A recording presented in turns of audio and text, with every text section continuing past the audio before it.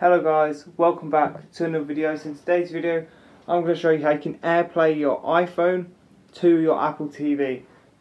So this should work straight out of the box but first I'm going to show you how you can change your AirPlay settings on the Apple TV to make sure they're how you want them to be.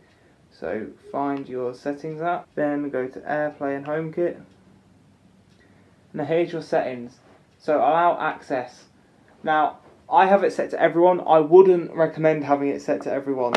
So having it set to everyone means that people who aren't even on your Wi-Fi, just nearby people can cast to it, which may cause some problems. And the reason I have this on, when I went on holiday with a few of my mates in caravan, we had the Apple TV there to play music, and the Wi-Fi was terrible and it wasn't really working.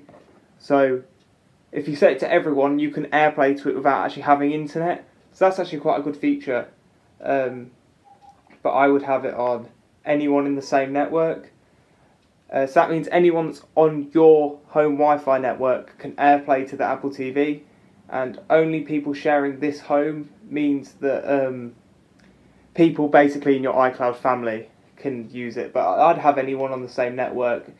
You can add a password to it if you want to. All you have to do is on your iPhone or iPad go to your control center, find this little button here, and it should show up. So mine's just called bedroom, so we click that.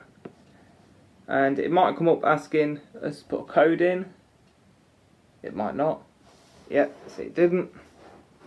And then now whatever happens on my iPhone is showing on the TV. But you can't see that because it's not focused. But yeah, everything that's happening is happening on the TV as well.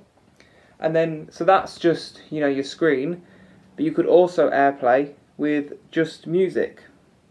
So if you just wanted to music from your phone to play on the TV without using like Spotify or something, you can do that as well. So say in Spotify, you click this little button down here, click Bluetooth and AirPlay, and just click your Apple TV, and it will start playing on it. Just like that. And it still stays on the home screen. Or if you go to the music app, go to now playing, it shows you what's playing.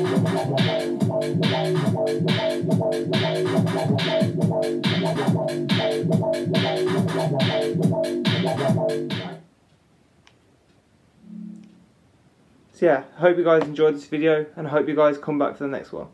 Bye.